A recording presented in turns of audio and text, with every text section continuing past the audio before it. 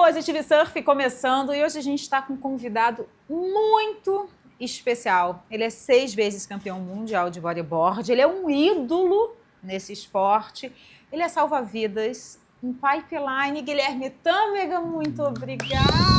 Obrigado a vocês, prazer Cara, muito estar feliz aqui. de ter você aqui com a gente no nosso cantinho. E as Prazer. histórias começam sem fim, né? Não, a gente já estava com um programa antes do programa, né? A gente já estava aqui conversando, eu e o Guilherme tinha amigo há muitos anos, não vou dizer Muitos quanto, mas há muitos anos.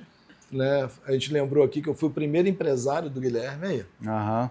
né? E a gente tem muita história, a gente rodou o mundo, literalmente. Fomos para Austrália, fomos para Havaí, Califórnia, é, mas, e o Brasil inteiro, né? Na época do, do auge, do, de- a época de ouro do bodyboard no Brasil, né? Anos É. 90.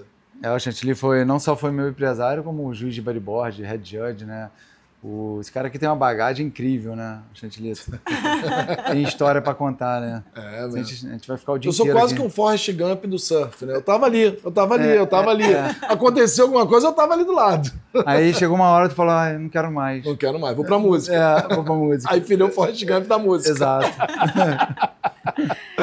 Guilherme, vamos começar falando um pouquinho de como hoje em dia, com uma vida muito mais calma, sem precisar ficar viajando, a gente estava falando foram 210... 50. 200, e- É, quase 200, quase 250 viagens nesse período de que você ficou competindo, agora nesse momento mais calmo, com a sua vida estabelecida em pipeline, seu trabalho, suas coisas. Quando você olha para trás, você fala, caraca, Liz, olha onde eu cheguei. Como é que você vê, olhando para trás, meio já desapegado do momento de competição bodyboard, aquele círculo que você não consegue nem, nem parar para pensar onde você está? É, primeiro, eu sou muito agradecido, né? Muito, assim, é, agradeço sempre a Deus pela, pela carreira e pela, pela, pela estrada que eu tive, né? Que foi, assim, incrível. né? Só, eu falo para todo mundo, só o Guilherme Tâmega para saber quem foi o Guilherme Tâmega. É. Vocês não sabem. O que eu passei, né? As superações, as dificuldades, né? Que são muitas e muitas e muitas. De você ter que é, é, ter uma cabeça boa para ser campeão, porque né, o público quer que você seja campeão. Agora, o que você está passando ali na hora, ninguém sabe e ninguém quer saber. Né? É o que passa com os surfistas hoje em dia. Né, a gente quer que eles ganhem, mas o que está passando na cabeça deles, a gente sabe. Então, foi uma carreira alucinante, né? foi linda, foi cansativa. Né? É, ao final, eu- é, parece que eu, é, eu, eu também me. É, parece que eu sou o Forrest Gump também. Corri, corri, corri, cheguei, eu não quero mais. Cheguei, cansei. Gente, cansei. Cansei de tanta viagem, cansei de, de- daquela vida competitiva, sempre estar competindo. Todo fim de semana eu competia, gente. Teve uma, uma vez que eu competi nove fins de semana seguidos em diferentes partes do mundo, campeonatos Caramba. diferentes. Nove. Então, para tu ter uma ideia da, da, da carga É porque que foi. e ainda tem um negócio da viagem, que muita gente não, não pensa, né? Mas você está em nove lugares em- eh, no mundo diferentes, em nove semanas, tem a viagem. Você tem que chegar lá. É, Não é teletransporte. Não, então o não. problema, às vezes, não é nem o campe- o campeonato em si, mas é a viagem, o aeroporto, o hotel ruim, é, a perda de voo, de, de, de conexão, tudo isso que é um mega problema, né? Não, muito, muito.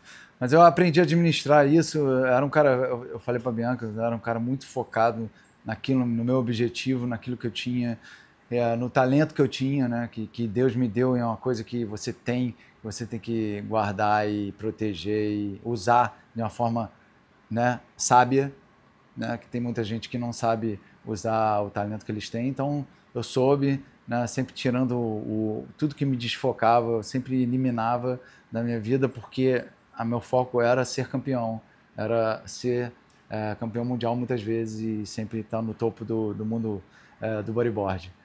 Mas foi cansativo, valeu a pena, faria tudo de novo. Né? Hoje é, eu, eu, eu corro atrás das coisas que realmente me, me dão prazer, me fascinam, as coisas que eu quero fazer. E não o que o patrocinador quer fazer ou, ou as, as obrigações a, a terceiros, né? que é uma, uma carreira de um profissional. Então é, é bom. É, sou muito grato né, pela toda a experiência que você aprende de vida, né? E toda viagem, tudo isso, né? Você pegar onda, você está aprendendo coisas que você não sabe, né? Daí chega depois na, na vida, pô, aquilo que eu passei hoje me ensinou isso, aquilo que eu passei hoje me ensinou isso, o bom ou o ruim, né? É, aquela coisa ruim. Então, por, é por isso que eu falo para todo mundo, tudo tem uma razão para acontecer na vida, a boa ou a ruim, a notícia ruim, a notícia boa, a maravilhosa e a não maravilhosa. É isso aí. E quando você comentou que você descobriu o seu talento, o seu dom no bodyboard, é muito curioso, porque você começou surfando de quilha, Uhum, depois você foi pro BMX uhum. e depois você voltou pro bodyboard. Eu falei, nossa, mas que viagem, né? Tipo, uma volta Uhum. para voltar Isso pro porque ele mar. morava em Copacabana e gostava, o desafio era pegar aqueles buracos quando quebra uma vez por ano, duas vezes por ano lá em Copacabana, não é isso também? É, é, é. Não, mais constante que isso. Mais contado, ah, tá bom, três vezes. É, três, três. Bota mais um aí. É, eu, eu pegava onda e minha outra paixão era o BMX, que eu tinha um grupo da galera do BMX ali da, da área, da, da pracinha ali de Copacabana, que a gente botava rampa e saía pulando, né? Então tinha, é, tinha corrida todo fim de semana na Ilha do Governador, que alguns eram competidores, né? Eram racers.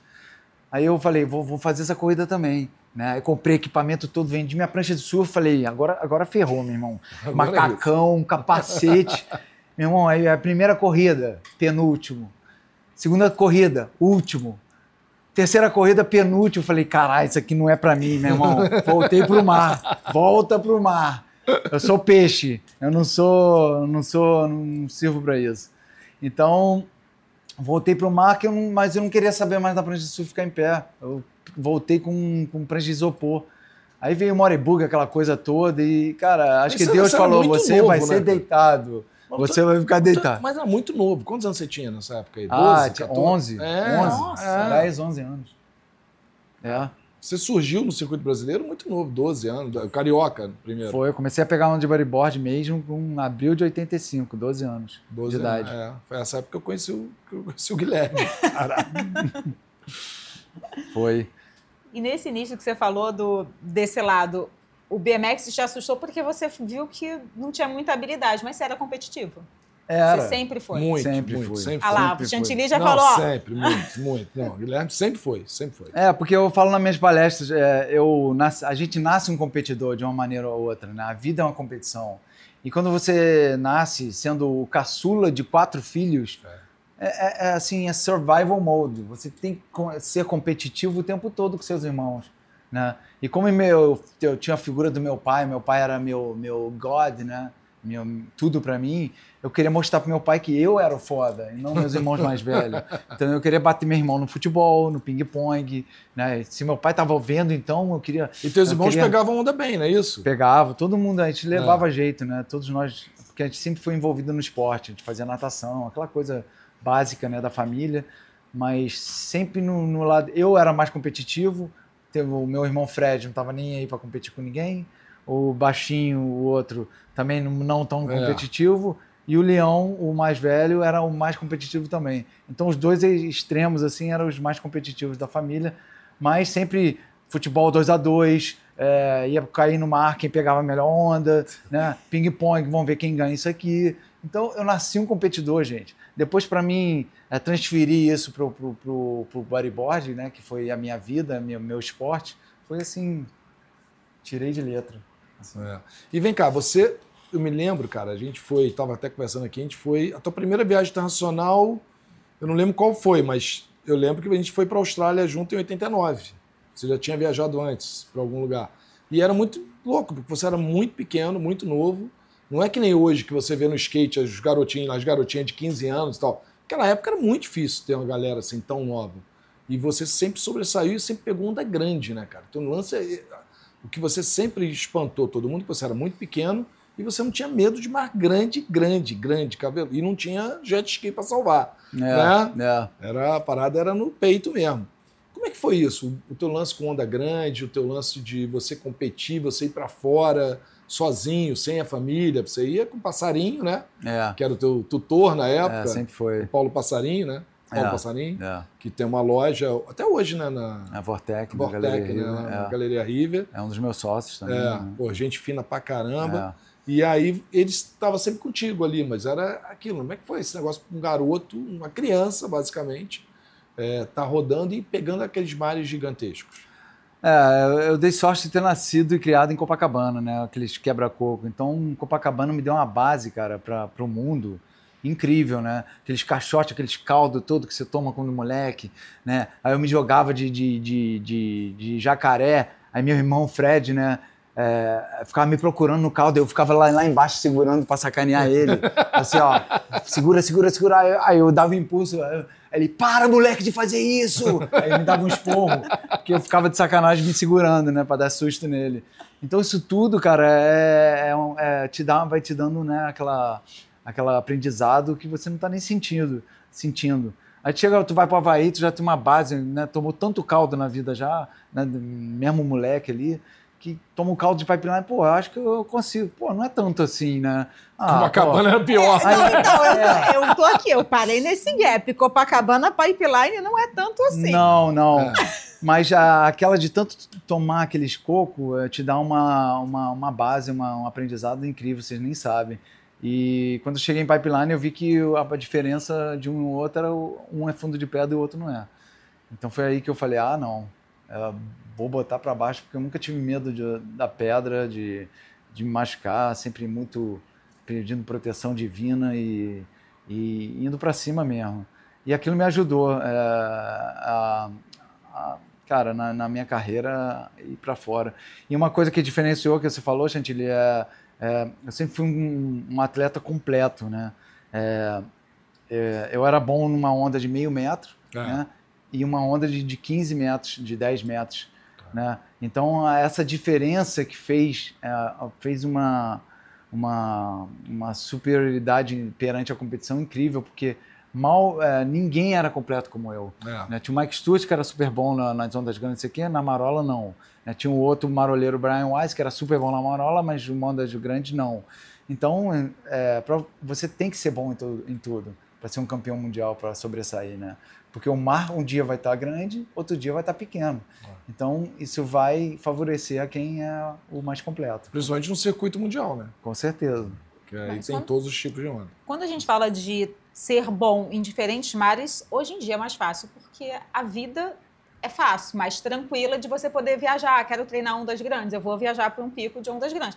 Naquela época não tinha essa facilidade. Então, assim, não. você foi descobrir a sua habilidade em ondas maiores quase que durante a competição. É, praticamente foi. Assim, a gente não tinha viagem de lazer, a gente viajava para competir praticamente. Né? Eu fui para Havaí pela primeira vez em 88, que foi de lazer, para conhecer a onda, conhecer o lugar com o passarinho, né, que me levou. E ali eu foi, foi maravilhoso, foi uma, acho que foi o, a catapulta para o pro, pro, pro meu cenário mundial.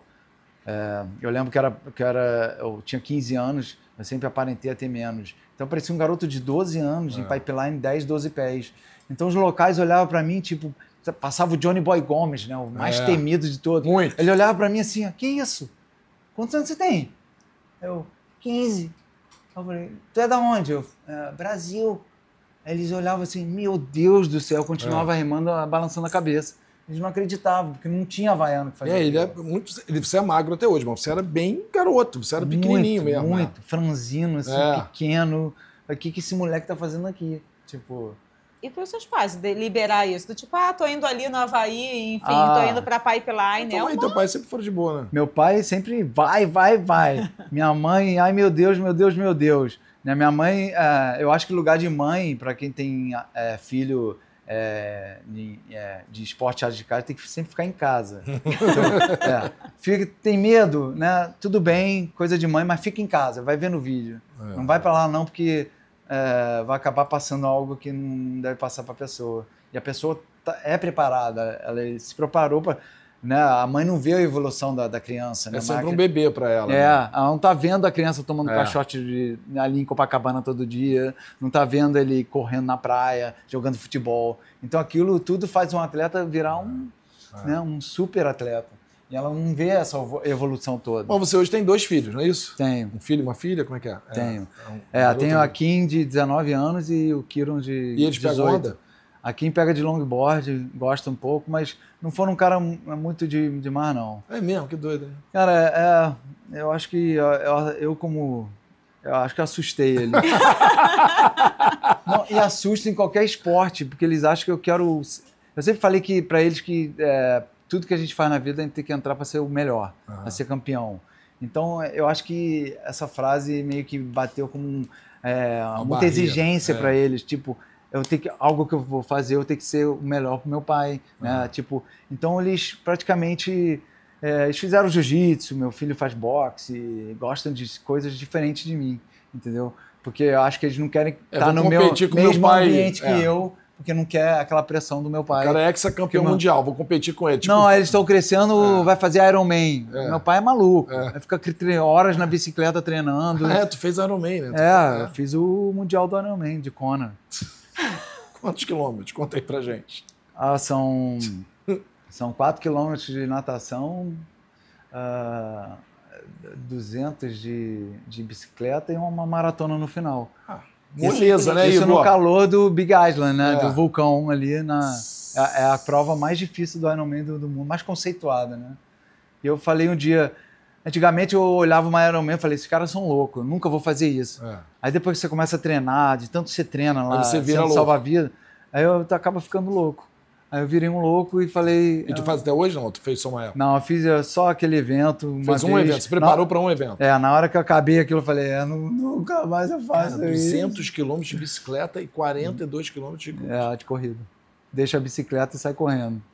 E fiz menos de 10 Isso não horas. Não é em uma semana, não, gente, é num dia. Fiz menos de 10 horas, 9h45. Que... Nossa. Tipo, que é impressionante para a primeira vez, uma pessoa, uma pessoa que nunca fez. É... Cara, o meu problema é que eu sou competitivo em tudo, é. né? Então, na hora que eu vou na, na, natação, eu quero eu nado igual um louco, na bicicleta eu vou igual um, um avairado, né? E na, na corrida eu vou correr igual eu nunca corri na minha vida. Tipo, eu sou assim e acaba... aí chega lá no final todo quebrado, desmontando, mas essa é minha pessoa. Para tu ter uma ideia, na hora da chegada do Ironman, tem aquele corredor da plateia toda. Uhum. Ah!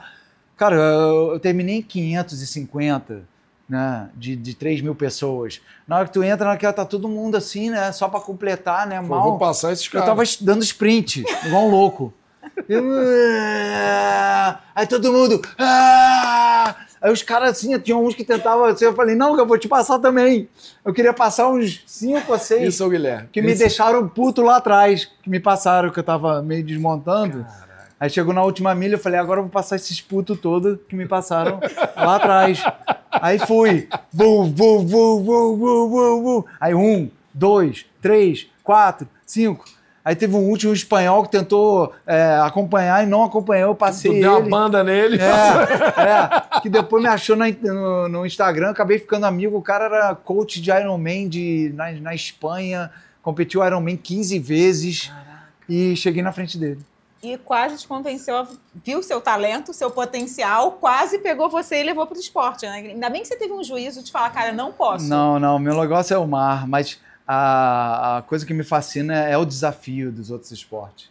É aquela coisa de. O Ironman é um, é um esporte que. O triatlo é um esporte que depende de você, não depende de onda, de ah. sorte, da mãe natureza. Depende da pessoa ali na hora, entendeu? Do, do, da sua natação, você tem que ser melhor da sua corrida e da sua uh, bicicleta riding, né? É Seu... muito doido, né? É muito doido, muito doido. É quase pessoal, né? Não é uma competição, é uma competição de você conseguir completar não, e o a prova. Treino Se você isso? vai ser 550, tu treinou quanto tempo? 500, não vai mudar nada. Tu treinou quanto tempo para isso? Eu treinei três meses. Caraca. Eu, Como surgiu porque... essa ideia, para começar? Não, por prime... quê? A minha ideia foi competir o Half Ironman, que era o 70.3, em Kona, em junho. Fui lá, saí igual um desvairado, né? Calor como sempre. É, saí igual um louco. Acabei sendo o melhor havaiano da minha, da minha faixa etária, melhor uh, havaiano residente. Uhum. E todo havaiano residente tem um convite pro Kona, em outubro. Hum. Aí a categoria tal, Guilherme Tamer, eu falei, meu Deus do céu, o que, que eu faço? ah, vou, né? Com uma vou, oportunidade vamos, dessa, vambora. Fui lá, mil dólares, tem que pagar na hora, o cartão de crédito, a inscrição. Ah, que eles te convidam, mas é, tem não, que pagar. te convido, tem que pagar, é. Ó, ó, toma aqui teu convite e a conta de mil dólares. Vai lá, paga mil dólares, reserva teu, teu nome. Aí tá, tá dentro. Aí tu falou, agora eu gastei mil dólares, vou ter que preparar. Agora, meu amigo, tudo, sabe, tu- tudo que tu treinou até agora, dobra. Agora é tudo dobro. A natação, a bicicleta e a, e a, e a corrida. Aí cheguei, meu amigo. Caraca. E, o- e o que acontece isso com o corpo? Me diz aí um pouco também o seguinte, o pós. Porque então fala que saudável é uma coisa e esses esportes muito radicais, eles detonam o corpo. Como é que você sentiu o teu corpo pós isso aí? Você deu uma caída ou ficou mais forte? Ou você aumentou? Ou você ficou doente? Como é que é? Ou teve mais lesão? Não, não, não. É, fiquei- fiquei bem, assim, né? É, não, não tive muita diferença. né? Eu emagreci, né? Tava mais seco, mas é, isso que você falou é, é comprovado hoje em dia que provas de longa distância é, é- é- não, não favorece uma pessoa que quer viver bastante tempo Aham. uma longe, longevidade, né? Então, aí eu, eu meio que deixei esse lado, porque eu quero, quero fazer uma coisa que me deixe saudável e que eu possa ser, assim, é, é, me sentir jovem o mais longo possível. Eu acho que provas de longa distância vai dificultar um pouco esse.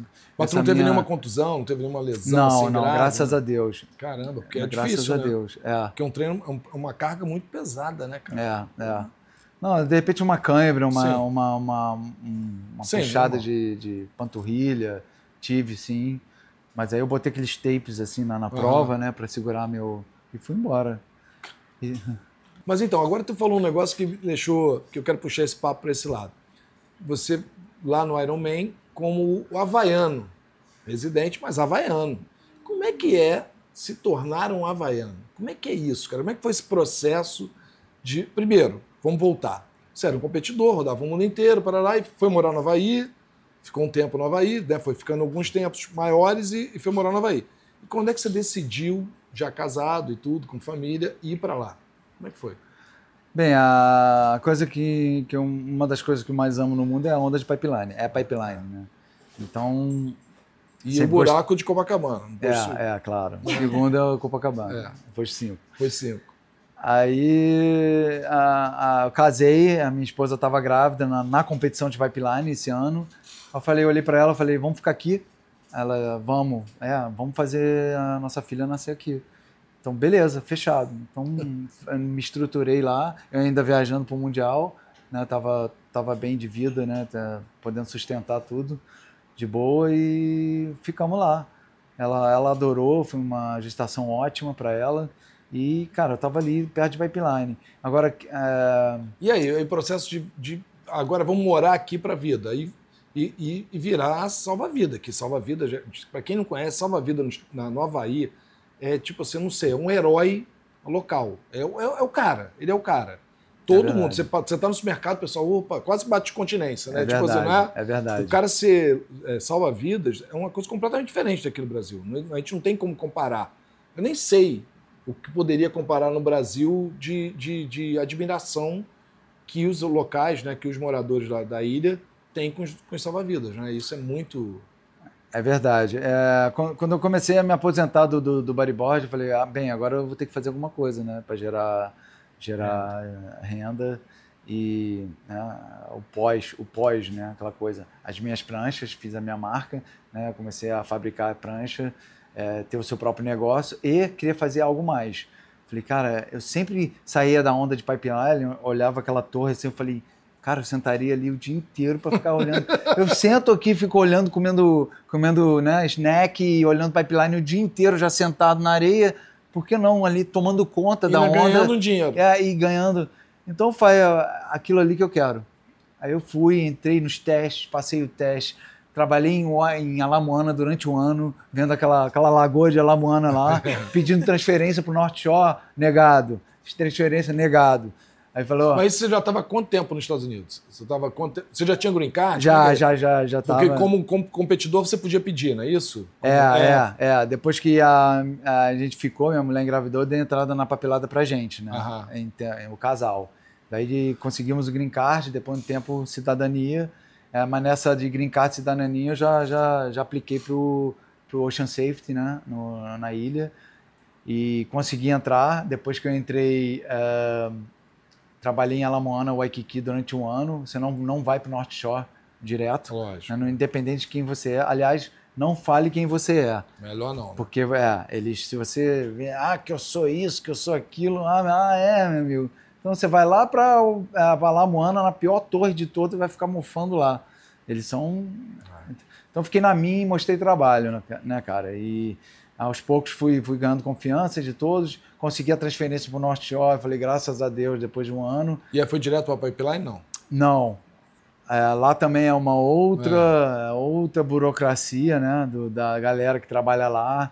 Mas é, como é, o, um dos guardas de, é, os, é, do, da torre de pipeline se aposentou, o Rick Williams, eu, eu, eu entrei no North Shore no lugar dele. Aham. Aí, como, como eu entrei no North Shore, eu comecei a ter umas pontas em pipeline. Então, ali, meu irmão, tu tem que mostrar serviço. Então, pros caras, meu irmão, aí eu pegava o pranchão de, de, de salva-vida, entrava nos, nos mar de erro cai de 10 pés, fechando tudo, varava a arrebentação. Aí ninguém olhava assim, caralho, esse moleque, esse cara não, não bate bem na cabeça. É, meu amigo, não bato mesmo. Vocês vão ver. meu irmão, se, se tiver alguém se afogando lá, eu vou pegar. Aí comecei, meu irmão. Aí entrava de pranchão no banzai de pipeline, de rescue. E, pô, o treinamento meu, toda vez que eu ia para pipeline era esse. Caía de bodyboard, meus breaks né? Ficava tomando conta da água lá, sempre super profissional na profissão. Independente de estar tá pegando onde você estava salvando. É todo mundo meio que salva. É, né? é, é, tipo é. monitoramento, né? É. Aliás, quem está dentro d'água é melhor, é. que vai ser o primeiro a estar tá na, na, vítima do que é. a gente que vem da, da areia. Né? Então a gente está pegando o olho, sempre de olho, fritando o peixe de olho no gato o tempo todo, né? né? É. diferente. Então, cara, fui ganhando confiança, fui ganhando mais dias em pipeline, mais dias, e depois fiquei direto um dos, um dos uh, salva-vidas que, né, de semana a semana, todos os dias lá em Pipeline. Você salvou o chumbo, o João. né? O João. João Chianca. É, João Chianca, né? Primeiro que. É, é, quem salvou, salvou foi Deus. Não, né? sim, não, mas é. você fez o resgate. A gente é, é uma, é uma ferramenta de Deus, né? É, as pessoas. Quem, quem, os primeiros a realmente salvar são os que alcançam ele primeiro e ajudam como... Ele ficou preso debaixo d'água? Não, como o mar estava tão grande, né, é tão, tão volumoso aquele dia, trouxe, é, depois do acidente dele, trouxe ele muito rápido para a beira, graças a Deus. Né? E, claro, é, o strap dele estava na prancha, é, né, é, ligado à prancha, né? porque o problema maior é, são pessoas que perdem a prancha, né, para achar o corpo depois. É... Então a gente tem aquele dois, três minutos que é crucial. Se você tirar o cara de dentro d'água, de, é, debaixo d'água, naquele dentro, dois, três minutos, a chance de salvar o cara é incrível, é enorme. E como ele ficou preso com a prancha, a prancha ficou mostrando aonde ele estava. É, é a galera ali da frente da casa já pulou, já pegou ele, trouxe, a gente foi, é, conectou, né? Agora, agora é com a gente, pega ele na beira ali até. É, Mobiliza. É, né? o meu amigo pegou ele primeiro, né? Pegou ele assim, eu falei, é, usa o head cram, que é aquela pegada de, por trás da, das costas aqui e você segura o, a, a, vítima pela cabeça por trás aqui. Né? Para imobilizar, assim, para não mexer o pescoço. É, é usa o head cram, ele pegou ele em head cram, eu fui na, na perna, trouxemos. A gente traz ele para um, um, lugar bem safe, né? É. Bota no chão e começa o, o trabalho, né? Que. Que é, é massagem pulmonar. Massagem pulmonar, se tiver. O meu amigo começou a massagem pulmonar, eu chequei a pulsação dele, eu peguei a pulsação, eu, para, para, tem pulsação, né? Porque a massagem pulmonar é quando não tem pulsação, quando está zerado mesmo. Então você tenta reviver a pessoa, mas como tem pulsação, a pessoa está tá ativa ainda. Né? Então é, é, é, é o momento de você trabalhar com o corpo e trabalhar com a, a, a recuperação da pessoa. A gente vira o corpo dele de lado, né? E para tentar expelir aquela água que está dentro da pessoa. E cara, foi tudo tão automaticamente perfeito naquela hora. É, é, é, Deus parece que está assim, ó, faz isso, faz aquilo. E agora, o oxigênio, é, você, também, não sei o quê. Né? E você, não, não, para aí, para aí. E não sei o quê, e vira, vira, vira. Agora, e cara, tá, tá voltando, tá voltando. Aí ele começa a be combative, né? Começa a explodir, querer sair dali. Ai, me tira daqui, não, não, não. Aí eu comecei a falar, falar com ele em português. João, é o Guilherme, tranquilo, tranquilo. Calma, calma. Ele, aí ele foi e acalmou. Ele ficou calmo assim. Calma, calma, João. Tamo aqui. Tá na boa. Tamo... Porque se a pessoa começa a ficar desesperada, comer, aí pode dar complicação maior. Entendi. Pode dar sequela, pode dar. Pô, é, pode. pode, pode ter alguma fratura na, na cervical, pode, Pode dar uma. piorar, é, né? pode, pode pegar na, na- Nervo. no nervo. Guilherme, você comentou aí do, do quanto é difícil você chegar em pipeline. Os havaianos são conhecidos pelo localismo que existe no Havaí muito forte. Uhum. Quando você coloca um posto tão importante para os havaianos, que são os salva-vidas, e você coloca um brasileiro em pipeline, eu imagino que a pressão lá deva ser turbilhão.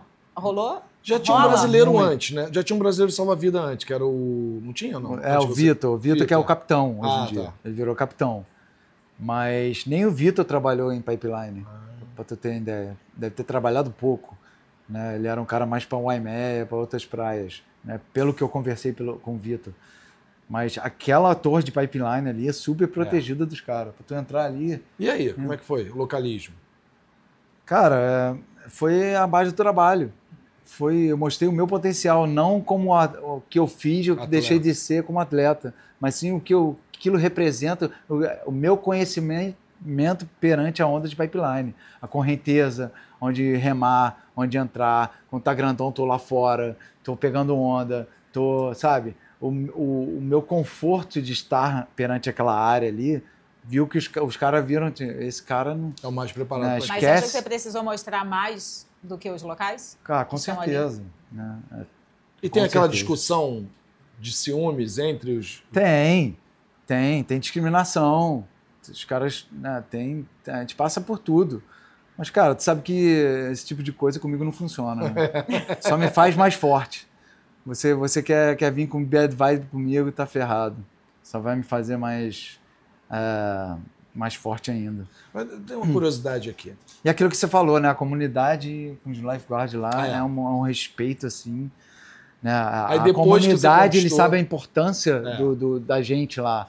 Entendeu? Porque o nosso trabalho é, é- é incrível. Uhum. né? Não, é, não, é, esse- não é trabalho de. Ah, Não, e o- é, os caras não fazem nada. Não, não. A gente está de olho em todo o caldo. É. Pra tu, tá, de olho de todo o caldo, de toda pessoa que vai para baixo. Tem que ir para cima, voltar para a prancha e voltar remando. Se não fizer isso, a gente vai lá e vai pegar o cara. Cara. Ou vai chamar o jet ski, ou vai chamar a backup. É, hoje vocês usam jet ski muito jet ski ou não? É, hoje eu sou operador de jet ski. Ah. Né? Então a gente usa O jet muito. ski fica na beira ou fica. Como é Fica na faz? água. Um dia grande está na água. A gente já pum, Bora, um vai pra lá. água, patrol, de um lado ao outro. Tem um lado bom que lá você tem uma vala que você pode entrar, né? Não é que nem aqui, quando tá grande storm, fica ruim para entrar, tem, né? É. Lá você tem o, ali o Rio Cai, né? O, Tem, o, tem, o tem. parque ali que tem uma. dá para entrar. Tem, né? mas às vezes fica brabo também, né? É. Às vezes não fica tão fácil, não. Mas a gente tá sempre, cara, sempre em ativo. E também tem um lance do que o surfista, ele, sabe que na hora que o bicho pegar para ele, quem vai salvar ele pode ser o Johnny Boy Gomes daquela época, que hoje deve estar velho já, mas que era um cara carne de pescoço pra caramba dentro d'água e fora d'água. Mas ele sabe o seguinte, pô, na hora que o bicho pegar para mim, quem vai me ajudar é aquele brasileiro lá. Por mais que eu odeie brasileiro, eu tô na mão dele, né? Não é, não é nem o brasileiro, mas é o- os salva-vidas. É, é né? salva-vidas. Você fa- faz parte do time. É. É um trabalho de equipe e acho que não tem essa de nacionalidade de onde você é, não é? É quem é capaz e quem é, quem é foda ali na hora. Né? E nosso trabalho é, é ser o mais foda possível, com todo respeito. Mas é, tem essa coisa, né? Hoje em dia, então, né? Eu tava falando com a Bianca, né? de- negócio de social media, as pessoas estão perdendo a cabeça, né? É. não tem mais noção do que eles estão fazendo. Você vê surfista voando de cabeça em pipeline, assim, coisas que você nunca viu na tua vida, Chantilly. Só os japoneses naquela época. É, é. Naquela é. época já- Até o japonês tá com ciúmes hoje em dia. Fala, porra, agora que todo mundo quer ser kamikaze, porque É. todo mundo virou kamikaze, né? Uma é porque estamos lá de olho neles, né? É. Que dá um conforto, tudo bem. A gente tá lá para dar o conforto para a pessoa. Mas você tem que ter um nível, É. um mínimo de nível, né? Porque na hora que, né, pode ser que a pessoa vá embora assim, É, morre né? mesmo, Não, não tem morre. salvamento que vai. É. Então, cara, você tem que ser, ir devagar. As coisas são devagar na vida toda, né? Vai, vai é, pegando experiência, vai devagar, vai em Rock Point, toma os caldos na, na É. coral, depois vem num pipeline menor e vai subindo aos poucos. Eu fiz isso quando fui É. para pipeline, fui de pouco a pouco, né? Então, calma. Agora vem cá, curiosidade minha. E outra pessoal. coisa, todo mundo de capacete hoje em dia, que é, É. uma coisa legal. Isso é, bom, né? É. Isso melhorou. É, Cara, uma das coisas que mais me deu medo na vida, sinceramente, foi ver um, um Ed Aikau. ao vivo ali, né? A Bianca também viu, Já né? vi. Eu vi, eu acho que o de 1990, quando eu fui ser juiz lá, eu vi. Cara, e foi um negócio assim que eu fiquei. Foi a primeira vez que eu fiquei com medo de estar na areia. Eu fiquei, eu tava na pedra, acho que com o Antônio Ricardo, com o Tayu, que ainda tava, que não tinha sofrido acidente, tava ali do lado, olhando as ondas lá de cima e tal. E aí eu desci. Quando eu cheguei na areia, que eu olhei aquelas ondas de frente ali, o quebra-coco, eu começou a me dar um nervoso que eu achei que ia varrer tudo lá em cima, no estacionamento, ia me levar. Eu voltei para a pedra, que eu juro por Deus, eu fiquei com muito medo mesmo. Fiquei com medo daquilo ali varrer a gente ali. É, como é que entra num, num mar daquele aquele caixote ali de UAM? Como é que é ser salva-vida? Já foi salva-vida ali? Não, Quando o mar tá vezes, grande? várias Como é que é vezes. aquilo ali, irmão? Cara, a gente tem que entrar. Se o bicho pegar, não, não O tem quebra-coco é desculpa. gigantesco. É, é, é. é. Surreal, é, É, surreal. é surreal. É. É surreal. É, a gente sempre tem um jet ski quando tá grande lá, na água. Né? É, a gente fica sentado ali no canal vendo o surf do, do o dia inteiro. Aí sai o cara da manhã, vai, bota o jet ski na areia, aí depois do almoço vira, vai o cara da tarde e fica três, quatro horas dentro da água vendo onda por onda lá, prontidão. Se tiver uma chamada num lado, vai, se tiver uma chamada no outro, já, tá- já tá dentro Uhum. da água. Né? E é, geralmente, quando tá punk assim, o salvamento é feito no short break, pega a pessoa e leva para fora. Né? Porque Aham. aquela corrente ela vai te levar para aquela pedra. canto esquerdo é, ali, aquela né? pedra do canto esquerdo rápido. É. Né? Então a coisa mais sábia é levar a vítima para longe, para fora. Pro outside. Aí chama o jet ski, o jet, o jet ski vem e faz o resto do, do trabalho, né? do, do resgate. Aí traz para beira mesmo ali, não, não tem um problema. jet ski que aí dá pra sair, mais É, aí fácil. vum, sai fácil. Mas, cara, é surreal, cara. Não, é surreal. Eu vi uma cena lá, num campeonato, no Ed Cal. Eles cercam a areia por segurança. É. E é lógico, eu não sei o que as pessoas têm na Idiota. cabeça que dá uma raiva. Eu me lembro que eu já estava comentando com a equipe. A galera passando. Eu falei, gente, mas dá uma raiva dessas pessoas e uma pessoa com um bebê. E eu olhando a mulher com a criança no colo. Eu olhei e falei, cara, acho que ela não entendeu ainda que ela tem que ficar bem para trás do negócio. Dito feito. Pegou? Aí eu olhei a mulher levantando desesperada, alguém catando a criança pela cabeça. Eu olhei e falei, cara, que vontade de ir lá e falar. Você percebeu o que você fez? E eu É falei, gente, sem surreal. salvar a vida ali, eu, falei, eu ia passar muita raiva, porque eu ia brigar com todo mundo. Não, dá, dá muita eu raiva. ia dar raiva, falar, que ódio, você está atrapalhando É o meu né? trabalho. É, essa, essa é aquela coisa da, da, da cabeça das pessoas hoje, hoje em dia. Qual é de cal que você tava? Eu acho que foi o dia. Agora não sei, cara. Não sei, 14, 15. Ah, porque eu trabalhei no do ano passado, né? Não, foi o não maior Edge Cal de todos os Sério? tempos. Ah, é. Que foi, você foi É. gigante. É, eu trabalhei. Foi um jet ski dali. Ai, que deixa. E tava tenebroso, tava gigante, cara, tava punk.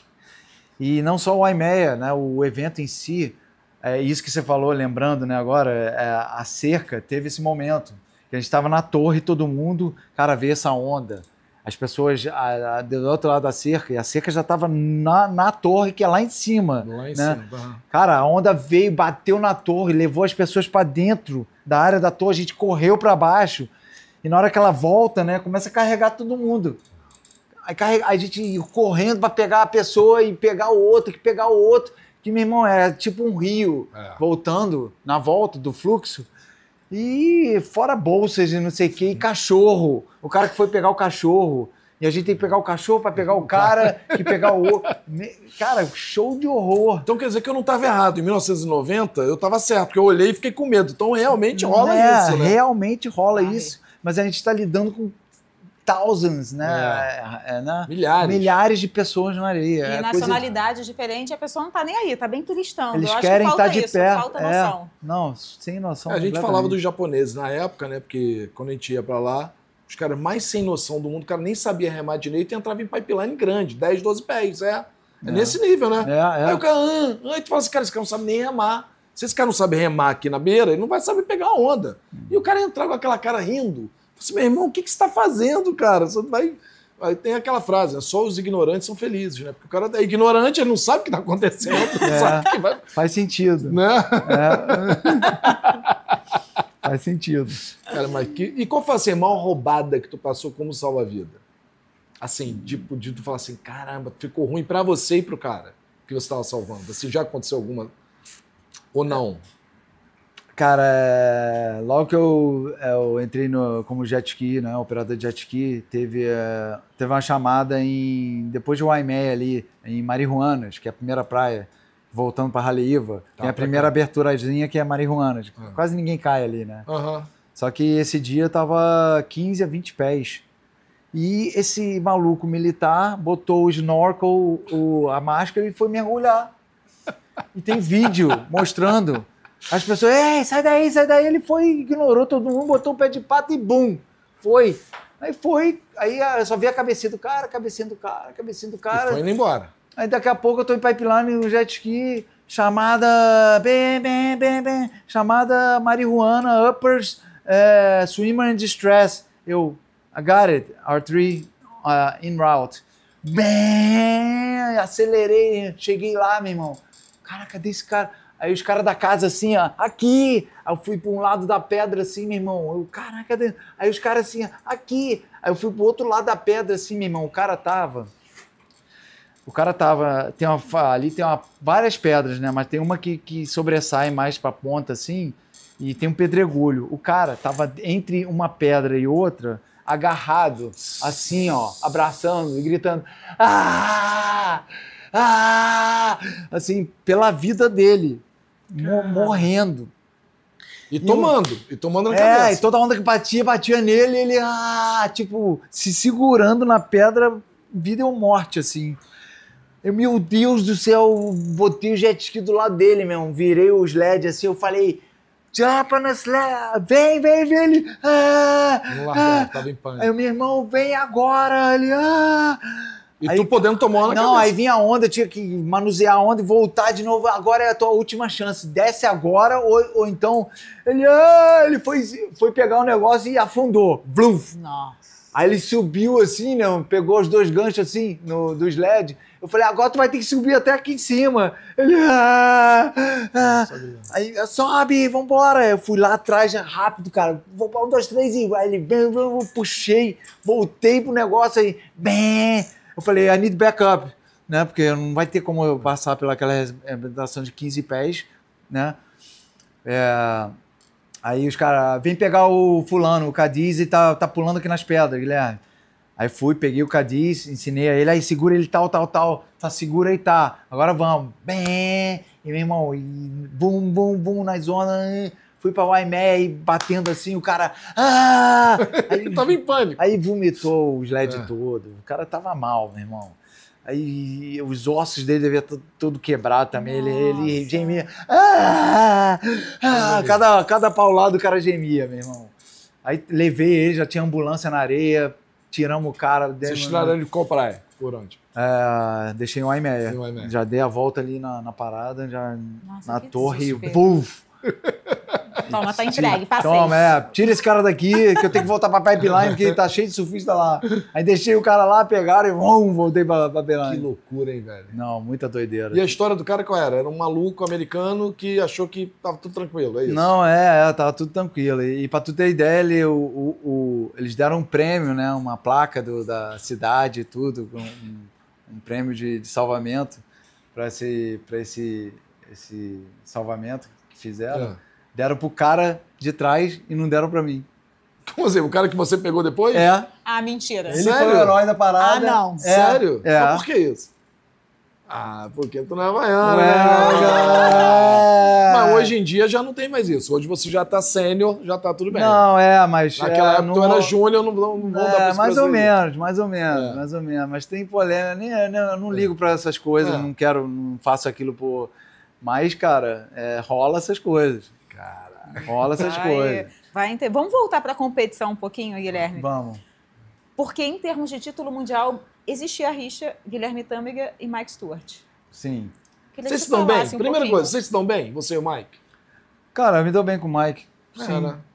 Só que ele é um cara completamente. ah, o, a pessoa dele, Mike Stewart, é completamente o oposto da pessoa Guilherme também. Sim, lógico. Então, ele lá, eu aqui, só falamos coisas que tem, tem que ser falado sobre o esporte, mas só isso. Não são amigos, né? Não, não.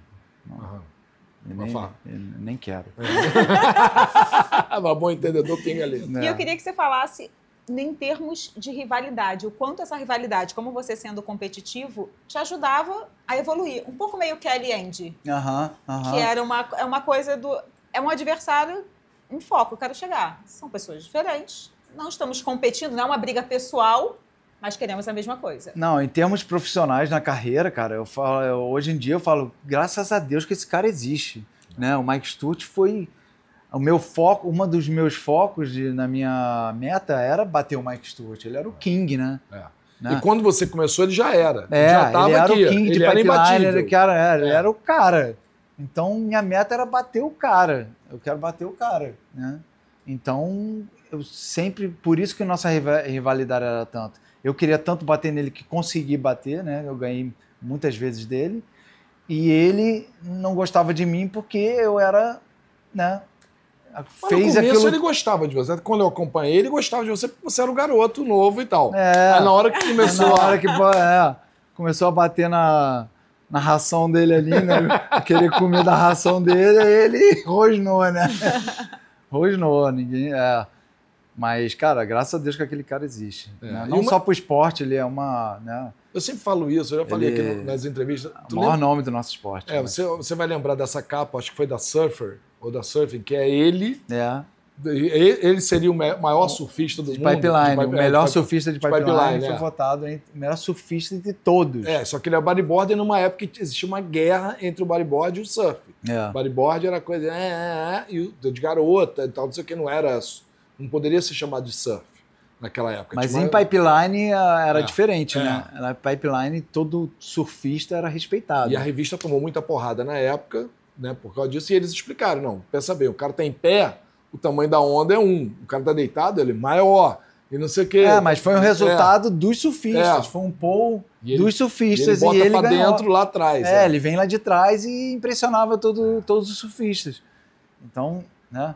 Eles botaram o resultado, Hoje foram vocês- honestos. De repente, hoje eles não botariam. né? hoje não, você não, não não, deixa, deixa, me dá, Finge deixa esse viu. resultado, É, finge é. que não viu aí. Hoje vocês ainda estão competindo entre vocês? Existe algum tipo de competição? Algum Não, não, não. Hoje eu eu não tenho mais esse, esse pique para competição. E, mas ele tá aí ainda no circuito mundial Ele tá, correndo. né? Tá, Tem 60 e algo anos. O cara não para, meu irmão. Eu até tiro o chapéu pro Mike Stewart, cara. Impressionante. Um cara desses. É pergunta mesmo. assim, de, de, de, de cara que tá de fora, assim. Um cara desses ficou rico, o Mike Stewart? Sendo um americano que, que, que fez um esporte como o bodyboard, que foi o maior ícone, é o maior nome do, do esporte nos Estados Unidos, e um dos maiores do mundo, junto com você.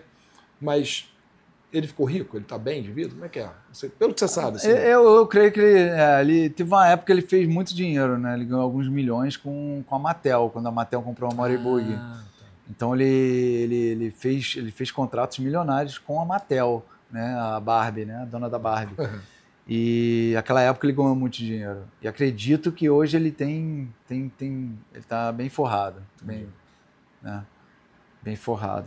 É engraçado, porque é um dinheiro pelo lado empresarial e não da competição. Porque considerando que ele está competindo até 60 É. e poucos anos, É. ele poderia abrir mão desse lado empresarial, né? Tipo, o certo, É. olhando pela lógica e pela dedicação, ele não precisaria estar com a Mas o cabeça dele bodyboard nunca dividida. deu muita grana de premiação, né? É, você Nunca viver de foi. competição no tipo WC, WSL, creio que você consegue viver. É, né? 100 mil dólares de premiação hoje um campeão, é, né? É. E, pô, já chega ganhando 5 mil, 10 mil, mesmo perdendo É. de cara. É, fora bônus de patrocínio, etc. Mas, é, é, no bodyboard sempre foi bem, bem, bem baixo, assim. É porque o bodyboard teve o auge dele numa época em que ainda era muito amador, né? Hoje, se o bodyboard voltar, se voltar, aí como o surf está voltando, aí as premiações vão ser maiores, porque tem muito mais profissionalismo, muito mais grana envolvida, muito mais coisa, né? Com certeza. Transmissão, tudo isso. Uma coisa puxa a outra. É. A gente está trabalhando aí pro bodyboard voltar pro lugar E- onde e- merece, né? Então, e aí? É- A gente né, participou, eu e você, a gente participou desse boom do bodyboard, eu do lado de fora, você dentro d'água. É, E depois a gente viu a queda do bodyboard no Brasil, aí depois veio a queda no, no bodyboard no mundo, que o bodyboard do Brasil sempre teve à frente do resto do mundo, né? É. Tanto do, do lado de dentro da água, lado de fora. Lá de dentro nem tanto, porque os, os gringos na época, no começo, eram bem melhores, e aí veio a tua geração que O Xandinho já batia de frente uma vez, mas não era regularmente e tal. É, é. Né? É, e depois vocês assumiram, você e a tua geração pós você, que assumiu uma, um protagonismo maior. E a gente do lado de fora, naquela época, nós, como juízes e tal, equipe técnica, a gente era imbatível. Poxa, os gringos, não é porque a gente era bom, é porque os caras eram muito amadores. É, é, né? Era é. muito doido, né? A gente já tinha uma experiência É, a muito estrutura maior. Uma nossa era- estrada bem maior. É. E aí e- e você viu essa, essa ascensão, essa, entre aspas, queda, né? uma, uma diminuição é, do bodyboard e agora essa, essa briga para voltar para o bodyboard. Como é que você vê esse, esse presente e futuro aí para o esporte? Cara, eu acho que é, você falou, né? Eu passei por uma montanha russa, né? O meu Uhum. esporte é uma montanha russa, né? E eu passei por todas elas, né? O altos e baixos, altos e baixos, altos e baixos do, do meu esporte, do bodyboard. E eu acho que a gente está numa ascendente agora, de novo. Estamos trabalhando forte aí. Eu acho que o, eu sempre falo que o esporte tem que se unir, né? Nós somos tão pequenos que não temos espaço para ninguém se separar, querer brigar e nada. Tem que se unir. União faz a força. Se não se unir, meu amigo, esquece. Né? Não tem essa de Mike Stu. Tem o problema do esporte é que sempre teve é, briga de, de ego e de, de, Poder também, né? de poder, é. E de- do que é, é melhor para cada um, né? Ah. É, cada um quer, quer, quer fazer o que é melhor para ele, né? Tipo o Mike Stewart, que é um exemplo, né? Que é um circuito de onda grande e onda pesada. Mas o outro fulano lá, que é um circuito de onda pequena. Eu quero um circuito de geral, né? De tudo, incluído como era no início. Né? A gente tem que estar participando de eventos no Japão, em ondas pequenas. Você não precisa ir, de repente bota uma pontuação menor, menor, mas não pode cortar da maneira que fizeram, né? Teve uma época que eles cortaram as, as etapas e foi quando o bodyboard afundou, né? É, tirou da França, tirou do Japão, tirou da Espanha, tirou do Brasil. tinha um mercado etapas. bom, né? É, então isso aí feriu o esporte. Por quê? Por causa do ego de, do, do, do- dos- de certas pessoas que queriam sempre ver o lado deles, né? Quando você fala a gente, depois eu entendi que você fala a gente no sentido comunidade do bodyboard. Isso, nós bodyboarders. né? Mas você já pensou em atuar na parte da politicagem, da organização de eventos, dentro da, Mas não é da tua cara, né, associação? É organização de evento, não. É. Eu sempre fui mais por, pela entidade. Né? Eu trabalhei como board member e um dos representantes de atletas há vários anos. E eu quero participar do, do, do que. Né? Eu acho que é importante você dar os próximos passos, não tem, passo- não tem é, abertura para erro, não pode errar mais no nosso esporte. A gente não tem mais tempo para isso. Então a gente tem que pegar os erros, pegar os acertos e né, aprender né, o que, que errou, o que, que, aprende, o que, que funcionou para fazer a coisa certa hoje em dia. Né? Um dia fazer, começar a fazer evento, talvez. Né? Se um dia eu fizesse evento, seria num formato diferente, em uma, um prêmio, uma premiação. Né? É, algo, eu tenho ideias, né? vamos ver.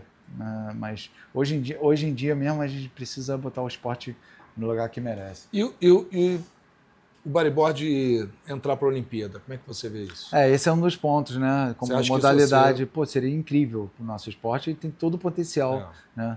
é, do, de esporte ser uma das modalidades do surf na Olimpíada. Mas aí tem que ser precisando de onda, né? Porque bodyboard, mar pequeno também não tem, não É. tem muito atrativo para. É, mesmo o surf, né? É, o surf, Eles fizeram em Chopo, né? Nesse ano, né? Que seria ótimo para o bodyboard também. É. E eu, eu tava falando com a Bianca que eu acho que a Olimpíada tem que ser numa onda de surf de piscina. Eu sou fã da, da é, a ginasta, a ginástica tem cavalo, tem o solo, né, tem as barras e quem vai ser melhor numa condição igual para todo mundo.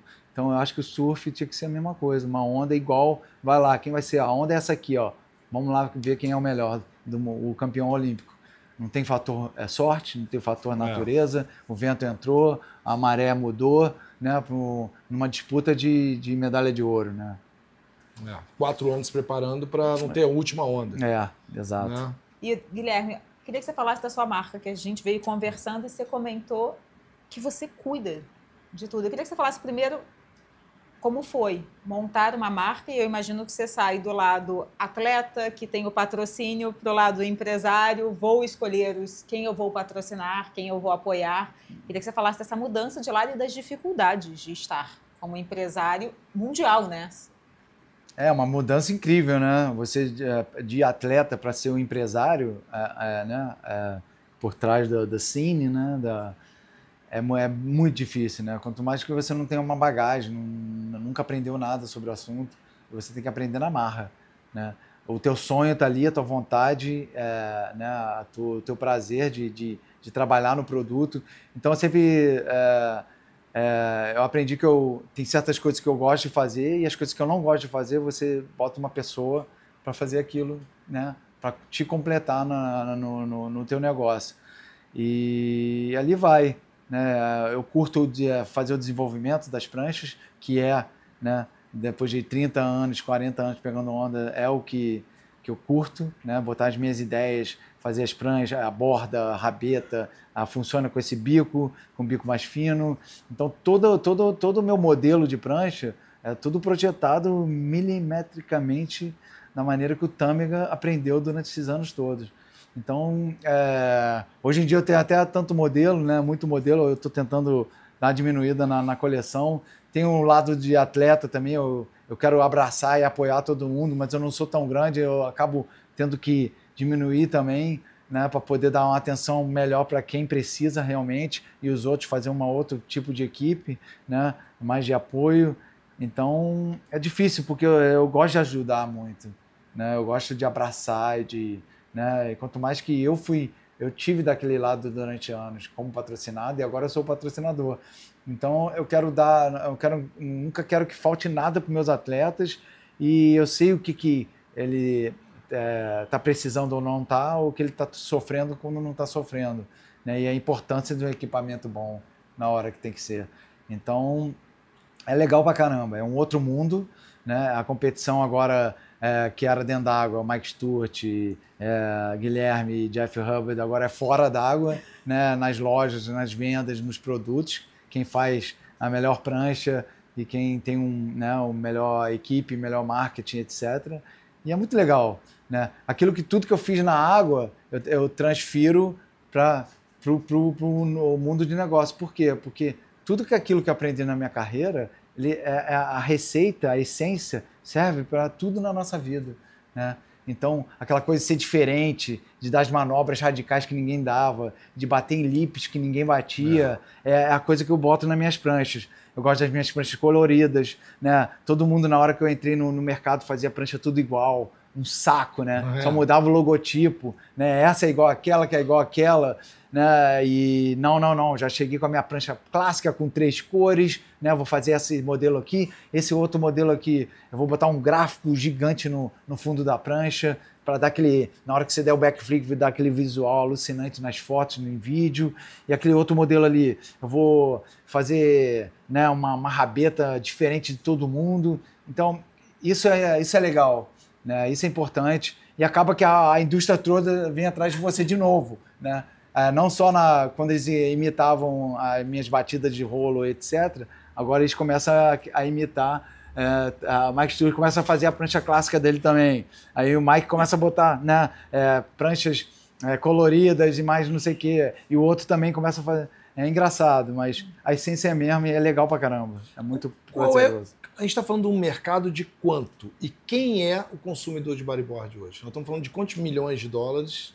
Vamos falar assim, você deve ter alguma coisa desses números. Uhum. Né? É, em comparação àquela época, se isso diminuiu ou aumentou mesmo o esporte não estando então em alta, mas ficou mais popular. Então, quantos milhões de dólares esse mercado, essa disputa? E, e, e quem é esse, esse público consumidor de vocês? Bem, o, o, o mercado é ter as pranchas profissionais, né? Que antigamente era aquelas pranchas de assinatura que vendia que nem água. Hoje não é mais assim. Né? A gente tem que fazer um produto é, mais barato e melhor para poder atingir um público mais de iniciação. Mas é, o, o, mercado milionário é, é, aquela, infelizmente, é aquela prancha de supermercado. Né? Aquela prancha que as pessoas. Que é uma primeira de entrada, né? Nos Estados Unidos, chama. que é, barra, marcas como Body Glove, como fazem as pranchas baratinhas, estão ganhando milhões com o nosso esporte e não botam nenhum centavo de volta ao esporte. Isso que a gente sofre hoje em dia. Uhum. O, o, aquela, aquela, aquela, aquele dinheiro que, que entra no bug board, né, daquela venda é. É, exorbitante, no verão dos Estados Unidos, por exemplo, é, não volta para o nosso esporte, porque eles estão querendo ganhar dinheiro no, no, no boogie board e, e, no... Então isso tem que ser mudado, isso que a gente está tentando, né, é, uma, uma marca uma, é, da gente que, que entre nesse mercado para poder ter um produto que... É, seja popular. Seja popular e, e invista no nosso esporte do novo para fazer ele crescer que ele Sim. precisa de investimento, né? Lógico. Porque o surf não vai fazer nada por isso. Então, é, tudo vem da gente.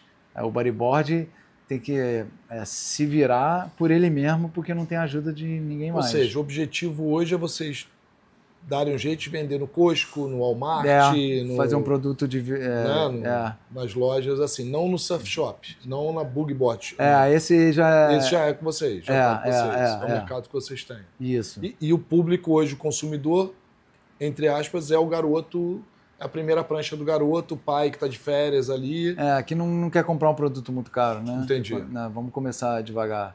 Mas né? você tem prancha desse nível também? Tenho. Tem essa prancha de entrada também? Tenho, tenho. Nessa linha? Tenho. Que é uma campanha parecida com o que acontece no skate. Porque o skate popularizou muito depois da primeira Olimpíada de Tóquio. E a galera quer andar de skate, quer andar de skate, mas a galera não ia comprar skate. Ia comprar skate é, de supermercado, que ah. não é um skate. É, enfim, é uma é, prancha é, com uma rodinha, mas é. não tem nada a ver com skate. Não é bom. É. Pelo contrário, vai te afastar do skate. E aí os skatistas entraram nessa campanha de quer começar no skate, você precisa comprar um skate. É. E isso que está no supermercado não é skate. E tem funcionado. Assim, Não, e esse é um trabalho que eu estou fazendo na Califórnia também. A gente fez o Boogie Fest, né, que, com a Perry Serrano, umas, uns coroas da, da época, né? A família Mori Boogie, o Sol Mori, o Tom Mori é, faleceu, é. né, o inventor da nossa prancha. Então eu me juntei com a família Mori para a gente é, dar uma, uma aquecida no, no esporte nos Estados Unidos, porque os Estados Unidos é um país super importante e, e precisa aquecer esse esporte.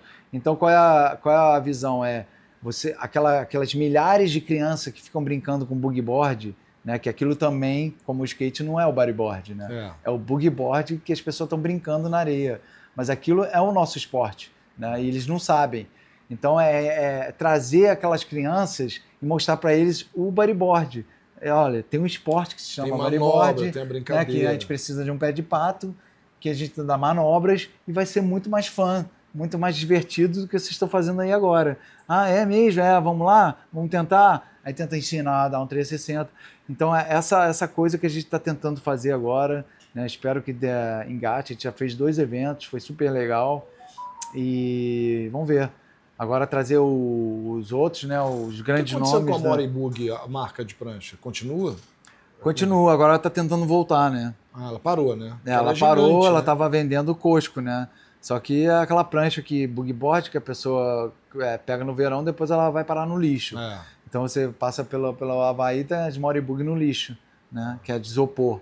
Uhum. Né? Agora estão tentando contratar o Pierre, é, o francês, Pierre Louis, é, como um atleta e estão tentando aí reviver a marca de novo com a Met 7, a Met 6 ou whatever. É, quando e... a gente começou só tinha essa prancha no mercado. É, só, só tinha, Met 77, né? É. Amarela com preto. E... Aliás, o Mundial a gente era obrigado a competir. Ah, é verdade era o Mundial de Moribug. É, ah, tinha que competir é, com a prancha. É, a gente chegava no Havaí, tinha que ir para a loja para comprar é. o 1,77 primeira coisa. Excelente jogada de marketing para vender. É. Quer vir competir? Tudo bem, mas antes você tem que gastar aqui. É, é por, por, isso que eles eram até a, o sinônimo, que nem Gillette, lâmina uh -huh. de barbear, era Moribug e bodyboard, né? É, era, inclusive, a primeira associação do Rio de Janeiro era a Associação de Moribug do Rio de Janeiro, é, Amberge. Amberge. Que eu fiz parte, Amberge. É. Aí depois teve um não, vamos mudar o nome, pô. Tá não, não, e gente, o, o, esporte, é, o nome é bodyboard, é, não é Moribug. É, muda, muda, as siglas da, da Amberge é, para Aberge. É, virou Aberge, isso é. aí. E mercado, o Brasil é um mercado potente no bodyboard também? Perde para os Estados Unidos? Não, é, é, mais, é mais potente que nos Estados Unidos. É mesmo? É. Brasil? Brasil, eu acho de vendas, de tudo isso? É, assim, do lado profissional, de vendas de pranchas mais de alto performance. Uhum. Né? É, é, maior que os Estados Unidos, com certeza. Pô, eu acho. Que legal. É, cara, é um esporte maravilhoso. Eu estava conversando contigo antes, vou para fui bodyboarder muito tempo, hoje sou, me considero um nada, mas kitesurf de vez em quando. É um wave rider, né? É um wave rider. É, a É, gente Pô, é é surf- bonito, né? É, é é, Ah, é. meu irmão. Ganhei o dia, pronto, sou um wave rider, é isso aí. É um wave E o rider. Larry, o Larry, o, o Larry Hamilton. o Larry Hamilton, é o Larry Hamilton, pronto, É. nós dois ali, ó. Tá aí, pau a pau. Qual a prancha que eu vou usar hoje? É, ah, é. essa aqui, É ó. É o stand-up, kite, é é o kite, stand-up. é- é o bodyboard. É o longboard, é o bodyboard. É, é, É, nada, jacaré, né? É isso aí. Mas isso é o surf, né? Eu falo pra todo mundo, né? Ah, aquela rixa do surf, bodyboard, andar. Gente, nós somos surfistas. Agora a escolha que você vai escolher pra surfar a onda é, é você, pô, né? é. Agora você vai, ser, vai querer discriminar o que, que eu quero escolher pra ser um surfista. Eu quero surfar a onda com a pranchinha de bodyboard. E você quer ficar em pé. Ótimo. Beleza. Né? Onda pros dois. É, mas precisamos da onda, todo mundo, né? É, o, o, o local é o mesmo, né? E tem os body surfer que não usa, que é a origem, É. né? Não usa prancha nenhuma. Então essa coisa de rixa é muito... É. Não, e, e eu, eu tava, hoje a gente tava falando, eu vou, lá pra Surfland, isso aqui, eu falei, bom, vou pegar um dia de pranchão e tal, mas, pô, eu quero pegar aquela onda mais buraco. E aí, pô, acho que eu vou de bodyboard, porque de prancha eu não vou conseguir. Então Com eu vou de certeza. bodyboard e vou lembrar meu tempo de. Com certeza. Que isso. E vai voltar a pegar onda de bodyboard. Vou pegar, voltar a pegar onda de bodyboard. Hoje eu fui com meu filho para pegar onda de bodyboard. Hoje, marzinho liso, levei ele com a pranchinha. Ah, show. Sete anos. Que Ele- legal. Ele pediu, ele pediu. Ó, Pai, vamos Sim. levar a prancha, pai? Eu falei, essa? Aí ele pega de- a prancha de surf. Ele, não, não, a minha, que é de bodyboard. Eu falei, então tá, então vamos levar. Era o meu sonho. Eu era o contrário. Enchia a prancha, o carro de, de prancha de bodyboard. Hoje a gente vai pegar o bodyboard. Não! Não! Não, vamos sim! É. Vai, fica na prancha. Não! Não! Aí, traumatizou. tá aí, ó. É. Tá? Ou seja, gente, não force, Não deixa a force. coisa natural. Ele deixa ele pedir. É. Aí você fala, agradece Graças a Deus, Deus. é, foi o que eu fiz a hoje. Você quer ir? Ah, então tá, vamos. Pera aí, deixa eu ver se eu vou poder ir. É. Ah, posso sim, vamos lá. Não, hoje foi assim, hoje foi assim, É, porque é. eu não podia ir, aí eu falei, caramba. Aí ele falou, pai, mas eu queria ir com a minha prancha. Poxa, aí eu, então tá, peraí, vamos dar um jeito. Vamos embora, vamos embora. vamos correndo, vamos de bicicleta pra chegar mais rápido na praia e tal. Daí fomos. E ele se divertiu, cara. É, Um quebra-coquinho ali. Deixa naturalmente, eles, É. eles pegam. É isso, gente. Temos. Vamos liberar o Guilherme, que deve ter uma agenda Não, de e deixa eu passagem no falar Rio. só uma coisa, irmão. Você faz parte da minha vida. Porque realmente. Você também, Chantilly. É, porque, não, porque é verdade, né, cara? Fui teu primeiro empresário. E foi a primeira vez que eu empresariei alguém. E depois eu virei empresário de banda. Então, eu falo isso pra muita gente, tipo, Pode Pará. cobrar sua porcentagem. É, né, eu ia falar, sério que eu tenho uma Aí, porcentagem? aí, É, aí, tá vendo? tem, aí. É. Já vai Os caras ter. são todos capitalistas. Eu que sou um cara, eu sou um empresário tão, né, easy going. Pô, os caras já são todos A gente viu capitalistas. cifra, né, Guilherme? É, Mas ah, é legal é, a gente fazer parte da, da vida das pessoas, te ajudar de algum jeito ou de outro, né? são 40 anos, velho, que a Eu gente acho, tá que, junto. eu acho que a gente está aqui para isso, né? Para fazer outras vidas, né? Ter neném, ter filhos, né? Ajudar um ao outro. Eu acho que a humanidade é isso, né? E não esse separatismo que estão tentando, né? Numa tela de televisão querer separar nós aqui e que não vão conseguir. E te- eu tento acordar as pessoas, tipo, não deixe ser influenciado por uma televisão, e sim você ser original, e ser você, né? E procurar os fatos. Você tem uma ferramenta na tua mão, né? Procura a verdade. Ela tá lá.